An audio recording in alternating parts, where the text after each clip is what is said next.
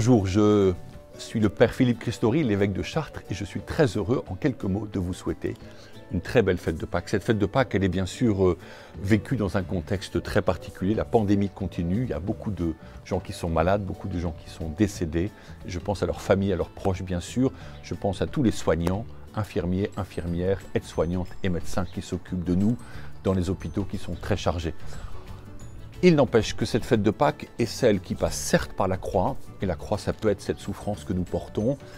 Jésus la porte avec nous, cette croix, il la porte jusqu'au Golgotha où il va être crucifié, mais trois jours après, il ressuscite. Et donc la fête de Pâques pour nous chrétiens, c'est vraiment la fête de la résurrection, la fête de la vie, la fête que raconte notamment l'Écriture, et je ne peux que vous encourager à lire les évangiles, ils sont merveilleux.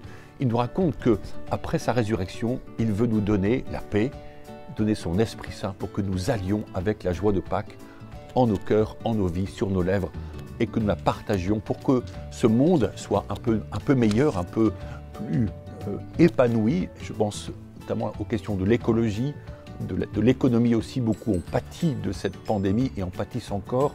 Donc qu'on puisse, par une fraternité renouvelée, dans la joie de Pâques, eh bien, espérer avancer, nous aimer et faire ce monde, de ce monde un monde, un monde heureux, un monde meilleur. Bonne fête de Pâques à tous.